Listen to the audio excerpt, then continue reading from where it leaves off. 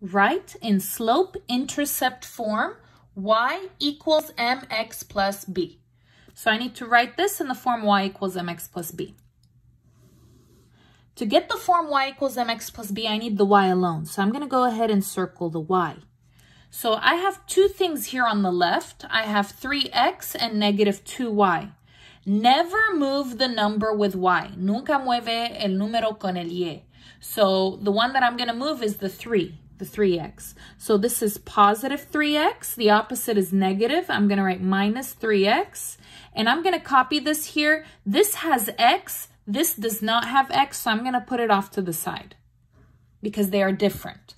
3 minus 3 cancels, so 3x minus 3x cancels. Copy down. Negative, don't forget your negative. Negative 2y equals, and you're going to copy because these have different letters. So no calculator, just copy. Negative 16 minus 3x.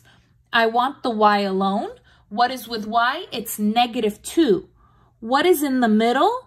it's multiply because there's nothing in the middle. No sign in the middle is multiply. The opposite of multiply is divide, copy, negative 2.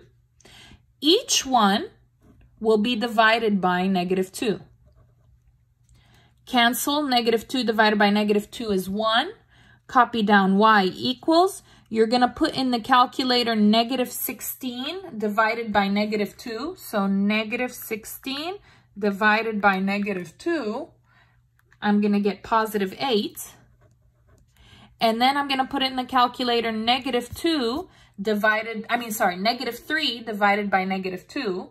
So negative 3 divided by negative 2.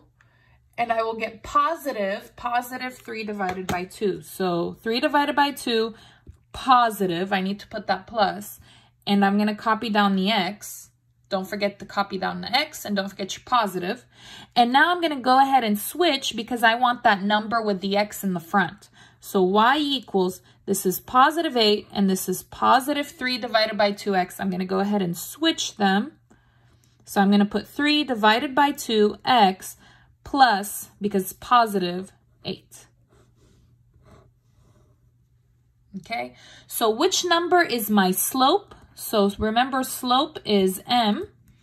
And then I have my y-intercept, b. So remember it's y equals mx plus b. The number with x is m and the number with no x is b. So m is 3 divided by 2 and my y-intercept b is 8.